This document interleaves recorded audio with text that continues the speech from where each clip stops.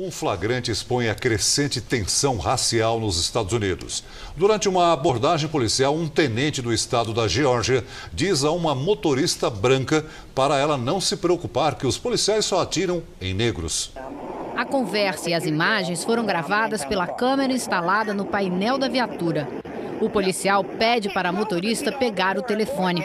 Ele está aí no seu colo, diz o agente. A mulher se recusa a largar o volante. Não quer abaixar as mãos. Já vi muitos vídeos da polícia.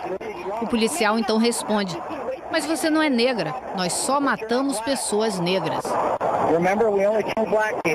A mulher assustada se referia a cenas como essa.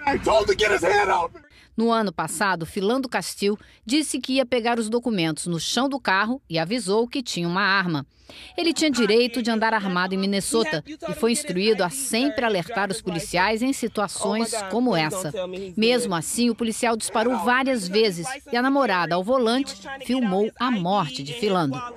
O vídeo na Georgia foi gravado há um ano mas foi divulgado apenas agora. Segundo o advogado do policial, ele estava tentando apenas aliviar a situação e acalmar a motorista. Mas este ano, a polícia já matou 139 negros aqui nos Estados Unidos. No ano passado, foram 309, segundo as estatísticas oficiais. O chefe da polícia do condado de Cobb mandou demitir o tenente Greg Abbott e disse que seria impossível desculpar as palavras do policial. Não sei o que se passa no coração dele, mas sei o que saiu da boca dele. Uma frase que chocou o país. Nós só matamos pessoas negras.